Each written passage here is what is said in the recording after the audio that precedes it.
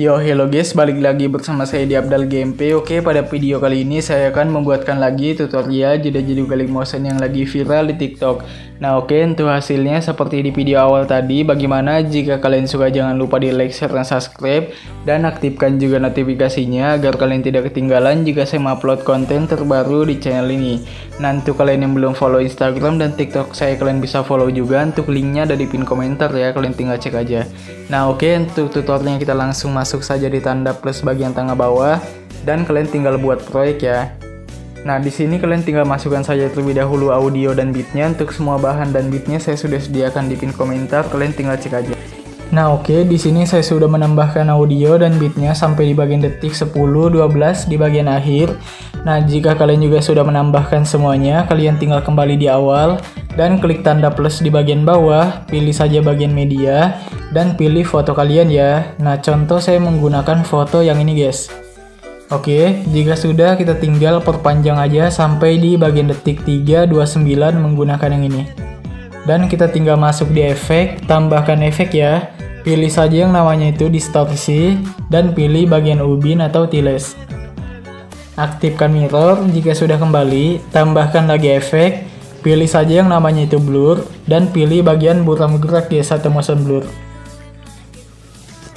nggak usah diubah, tambahkan lagi, pilih saja yang namanya move atau transform, dan pilih offset ya di tengah sini. Nah, untuk bagian offset, kita klik yang bagian Y, tandain di awal sini 0, dan di bagian akhir kita ubah saja menjadi minus 5000 ya.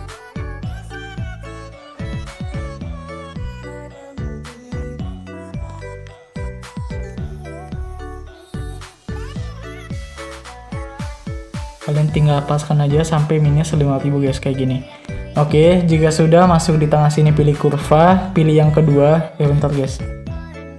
Nah pilih yang kedua ini dan kasih full kayak gini ya. Jika sudah kita kembali dulu. Masuk di bagian detik 1 lewat 20 kembali pilih dulu bagian move dan transform pilih yang ketiga tandain di sini. Dan di bagian awal sini kalian tinggal zoom aja ya Nah, jika sudah di zoom, kita tinggal masuk di tengah sini pilih kurva, pilih yang ketiga. Kembali, dan kalian tinggal masuk lagi di efek, tambahkan efek, pilih saja yang namanya itu Mate Max atau K, dan pilih yang Luma K. Tandain aja di bagian detik 1, 20, 0, dan di awal sini kalian tinggal ubah jadi 1000 ya. Nah, jika sudah, kita tinggal kembali aja guys dan masuk di bagian detik 2.14 tambahkan saja foto yang beda ya. Contoh saya menggunakan foto yang ini. Nah jika sudah perpanjang fotonya dulu sampai di bagian detik 7 menggunakan yang ini. Dan pangkas di bagian detik 329 menggunakan yang ini. Jika sudah kita tinggal klik dulu foto yang di bagian paling bawah ya. Pilih efek pilih titik 3 dan salin efek ya. Jika sudah kembali, klik foto yang ganda di atas pilih efek, pilih titik tiga, dan tempel efek.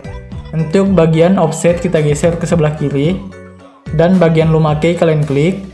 Untuk keyframe yang di akhir kita tahan geser ke paling akhir ya. Nah jadi kurang lebih hasilnya seperti ini guys. Nah oke, okay.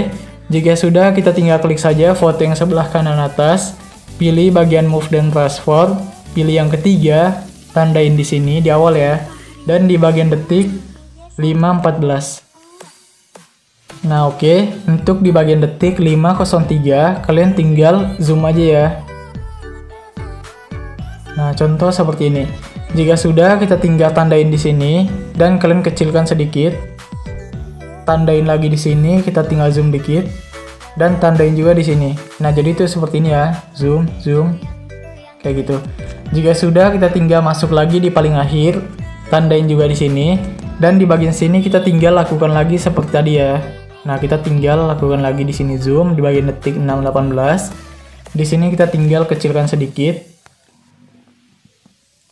Di sini kita tinggal zoom dikit. Dan di sini kita tinggal tandain. Nah, oke, okay. jika sudah selesai, kita tinggal masuk di tengah sini pilih kurva, pilih saja bagian yang kedua ini dan kasih seperti ini guys kurvanya. Oke, okay. jika sudah pilih bagian titik tiga di bawah salin aja kurvanya, pilih lagi titik tiga di bawah, tempel ke semua bingkai utama. Kembali aja, pilih yang kedua ini guys ya. Tandain di sini dan di bagian detik 5 25 kita tinggal ubah jadi minus 7. Langkai satu bit tandain, langkai lagi satu bit ubah jadi 0. Untuk yang dilangkain sini ubah saja menjadi plus 7 ya. Nah, yang dilangkain sebelah sini juga plus 7. Oke, jika sudah masuk di tengah sini pilih kurva, pilih titik 3, dan tempel ke semua bingkai utama. Jika sudah kita kembali aja, dan kita tinggal pangkas dulu guys ya di bagian detik 514 menggunakan yang ini. Nah oke, jika sudah kita klik dulu foto yang bagian ini guys ya. Nah, di bagian sebelah kiri ini yang panjang, pilih efek, tambahkan efek, pilih saja yang namanya distorsi, dan pilih cermin guys atau mirror ya. Tandain di bagian detik 416 dan di bagian detik 503 untuk di bagian akhir kita ubah jadi 0 yang 100 ini. Yang dilangkain sebelah sini juga. Dan yang dilangkain sebelah sini juga ya 410 jika sudah kita tinggal masuk di tengah sini pilih kurva pilih yang ketiga kasih full guys semuanya ya sampai di akhir jika sudah kembali, dan pangkas semuanya sesuai bit ya, sampai di paling akhir. Nah ini tahan, geser ke atas, pangkas juga. Jika sudah, kita kembali di awal. Nah, kita klik saja dulu foto yang bagian awal ini. Pilih saja bagian efek, tambahkan efek ya. Dan kalian tinggal pilih ubin di tengah sini ada. Aktifkan saja untuk bagian mirror jika sudah kembali tambahkan lagi efek ya. Pilih saja buram menggerak di di tengah sini ada. Gak usah diubah, tambahkan lagi efek. Pilih saja yang namanya itu move atau transport dan pilih ombang-ambing atau stilet. Untuk bagian sudutnya kalian ubah jadi 90. Untuk di awal dan di bagian akhir kalian ubah jadi minus 90 ya.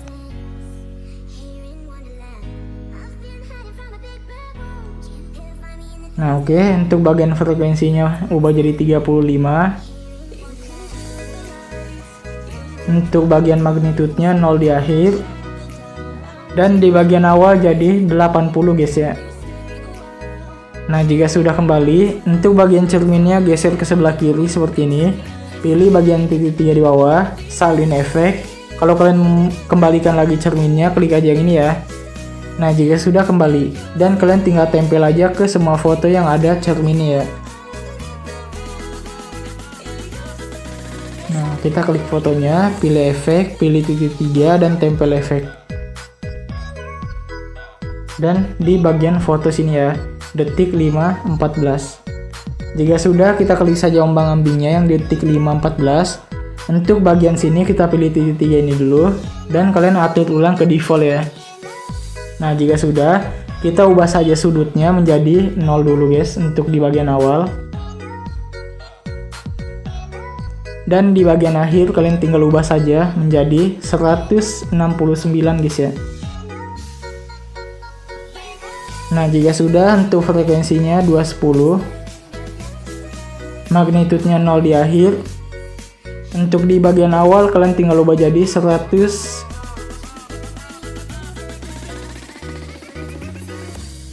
Nah, jika sudah ini udah jadi, kita tinggal kembali aja. Pilih aja bagian yang ini supaya cepat, salin satu layer, kembali, dan klik tahan sampai checklist 4 foto di atasnya. Pilih yang ini jika sudah, pilih yang ini, dan hapus semua hijaunya kecuali yang ini jika sudah tempel. Nah, jadi hasilnya kayak gini nanti ya. Oke, kita balik-balik aja yang foto kecilnya, klik saja foto pendeknya, Pilih titik tiga di atas dan kalian tinggal balik secara horizontal. Kembali, langkai satu foto, balik lagi. Nah, oke okay, ini udah jadi ya. Nah, ini jadinya seperti ini dia. Oke. Okay. Nah, jika sudah selesai, kita tinggal tambahkan saja foto yang beda ya di bagian detik 7, guys. Nah, contoh saya menggunakan foto yang ini, guys. Jika sudah, kita tinggal perpanjang aja sampai di bagian detik 929 menggunakan yang ini kembali di awal nah kita tinggal pangkas-pangkas saja semuanya ya sesuai bit Nah, sampai di bagian detik 8.14. Untuk di foto yang panjang sebelah kanan atas, kita klik saja. Pilih bagian move dan transfer, pilih yang ketiga, tandain di sini tahan paling awal, dan di bagian akhir juga. Untuk di bagian sini, detik 9.18, kalian tinggal ubah saja fotonya menjadi kecil ya. nah, kurang lebih seperti ini. Oke, jika sudah kita tinggal tandain aja di bagian sini. Kita tinggal zoom sedikit ya. Nah, tandain juga di bagian sini. Kita kecilkan sedikit. Dan di bagian sini guys. Nah, jadi itu kayak gini ya. Kecil, kecil, kecil, kecil.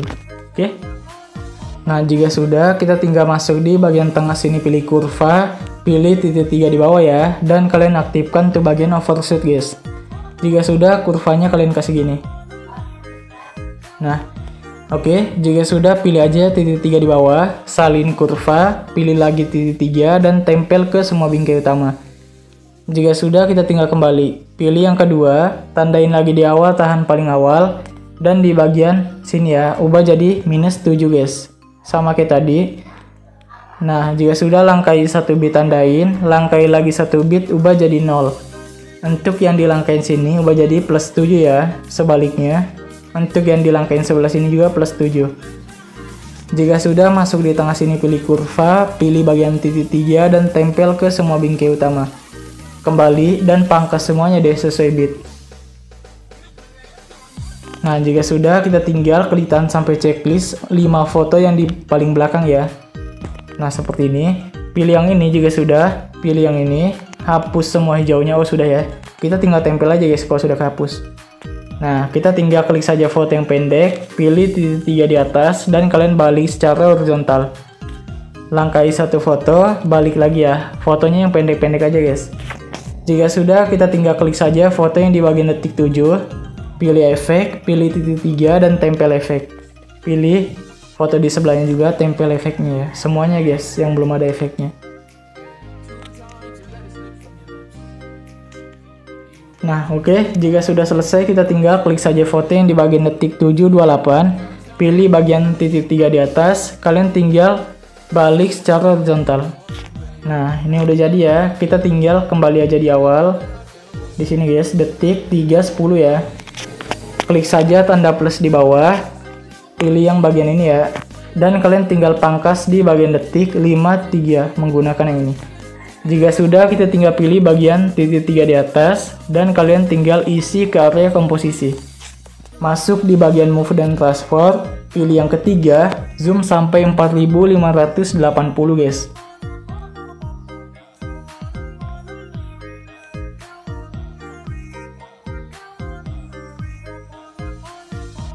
Nah, seperti ini. Jika sudah kembali, masuk di efek, tambahkan efek ya.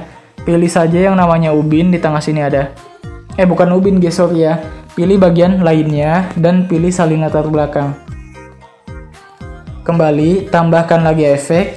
Pilih saja yang namanya itu distorsi dan pilih lengkuan gelombang. Tandain di awal sini 0. Dan di bagian sini ubah saja menjadi 1. Untuk di akhir jadi 2.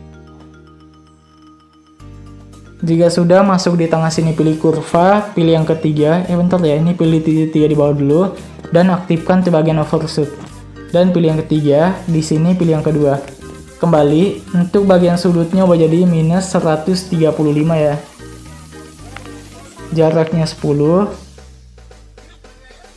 Magnitudenya 0 di bagian awal, di tengah, dan di paling akhir. Untuk di bagian tengah, jangan lupa kalian ubah jadi 6,8. Jika sudah masuk di tengah sini pilih kurva, pilih yang kedua, di sebelahnya pilih yang ketiga, dan kasih seperti ini guys. Jika sudah, kita tinggal kembali aja ya. Pilih titik tiga ini, dan kalian tinggal gandakan. Klik lengkuan gelombang yang di bawah, untuk bagian sudutnya serat, eh, jadi 58 ya. Yang tadi 135 jadi 58. Minus ya guys ya. Jika sudah selesai, kita tinggal kembali aja. Nah oke, okay, jika sudah jadi kayak gini, kita tinggal masuk saja di bagian sini guys ya. Detik 6.18. Nah, pas pergantian foto ya kayak gini. Detik 6.18 kita klik. Dan kalian pilih yang kotak ini guys. Oke, jika sudah kalian tinggal pangkas saja di bagian detik 7, 11 menggunakan yang ini. Pilih bagian titik 3 di atas dan kalian regangkan ke arah komposisi. Jika sudah, pangkas di bagian detik 7 menggunakan yang ini. Kita klik dulu voting bagian eh klik dulu yang persegi panjang di awal, sorry. Dan pilih efek, tambahkan efek. Pilih saja yang namanya itu salinator belakang di tengah sini ada. Kembali, tambahkan lagi efek ya. Pilih saja yang namanya Move atau Transform. Dan pilih saja yang namanya itu regangkan sumbu atau split axis. Untuk skalanya, tandain keyframe tan paling awal, di akhir jadi 130. Masuk di kurva, pilih yang kedua, dan kasih turun seperti ini ya. Setengah guys. Kembali, untuk bagian sudutnya juga, tandain di awal 0, di akhir jadi 180 guys.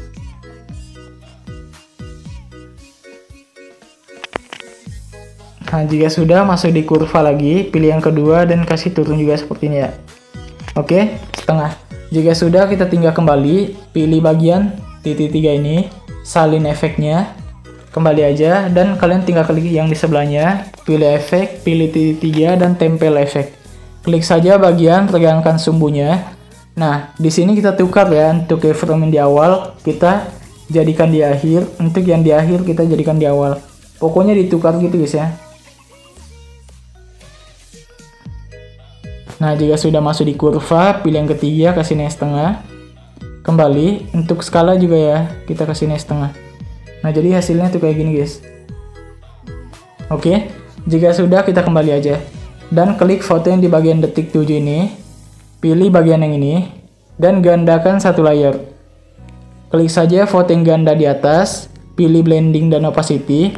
Tandain keyframe tan paling awal. Di akhir jadi 0.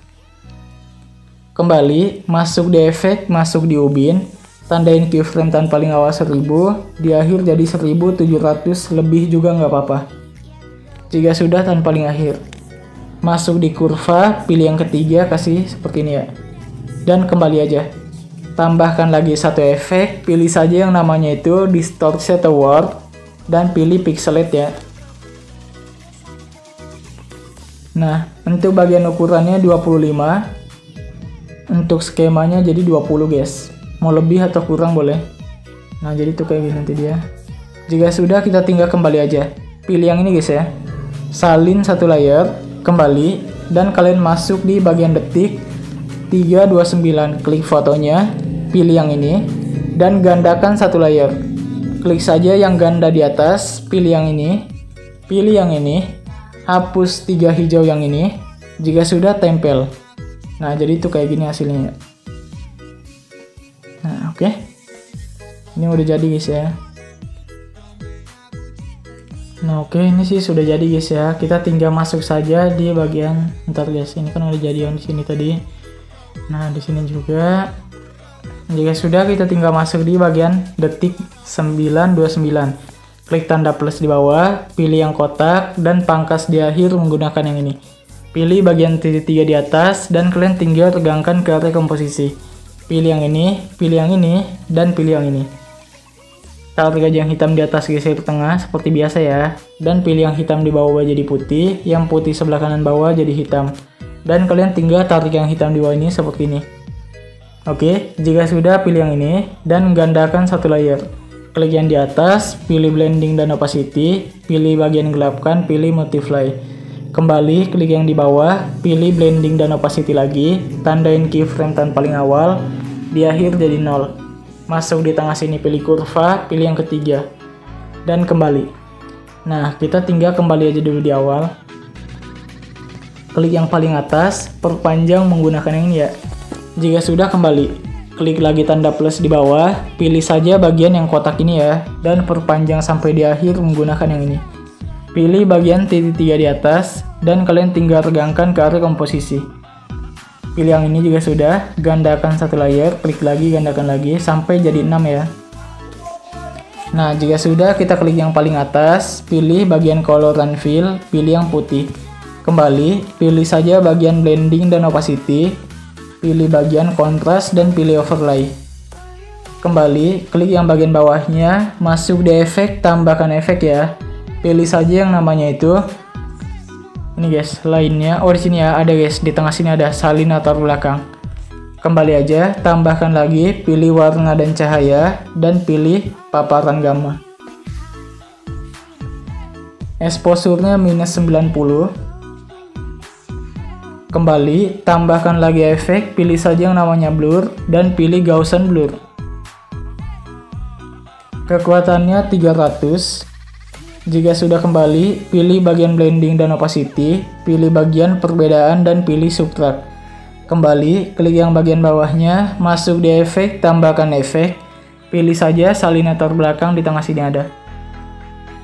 Kembali lagi, tambahkan lagi, pilih saja warna dan cahaya, dan kalian tinggal pilih saja saturasi atau semangat. Untuk saturasinya saya pakai minus 30, kalau melebih atau kurang boleh. Jika sudah kembali, tambahkan saja lagi yang di bagian bawahnya ya, klik yang di bagian bawahnya. Masuk di efek, tambahkan efek, pilih saja salinator belakang. Kembali, tambahkan lagi efek, pilih saja yang namanya itu blur, dan pilih pertajam atau sharpen. Untuk bagian kekuatannya 1,50 Radiusnya 1,5 Jika sudah kembali, pilih bagian blending dan opacity Pilih bagian gelapkan dan pilih darken Kembali, klik yang bagian bawahnya Pilih yang ini dulu guys ya Dan gandakan satu layar Klik lagi yang bagian atasnya Pilih bagian efek, tambahkan efek Pilih saja yang namanya itu salinator belakang di tengah sini ada jika sudah kembali, tambahkan lagi efek ya. Pilih saja yang namanya itu pertajam di tengah sini ada guys. Nah, oke, okay, jika sudah, tambahkan aja lagi. Pilih yang namanya itu warna dan cahaya dan pilih bagian spot color. Nah, kembali tambahkan lagi. Pilih saja Gaussian blur di tengah sini ada. Kembali, pilih bagian blending dan opacity, pilih gelapkan dan pilih multiply. Yang 100 saya pakai 25, kalau mau kurang lagi boleh, nggak apa-apa. Jika sudah kembali aja. Kita klik yang bagian bawahnya lagi, masuk di efek, tambahkan efek, pilih saja yang namanya salinator belakang di tengah sini ada. Jika sudah kita kembali ya. Nah, tambahkan lagi, pilih saja yang namanya distorsi, dan pilih lengkuan gelombang. Nah, jika sudah, kita tinggal kembali di awal, tandain di awal sini 0 di bagian akhir kita tinggal ubah saja ya. Jadi sekitar bentar guys ya. Di sini saya panjangkan dulu lah ini ya jadi sekitar 20-an nah 21 nah di sini saya pakai sekitar 12 30-an ya. Nah jika sudah. Kita tinggal masuk di sudut. Untuk sudutnya saya pakai sekitar 78. Untuk jaraknya kalian tinggal ubah saja menjadi 8,6. Untuk bagian magnitudenya ubah jadi 0,5. Jika sudah pilih titik tiga ini dan gandakan. Klik saja lengkuan gelombang yang di bawah. Untuk bagian sudutnya jadi 180 ya.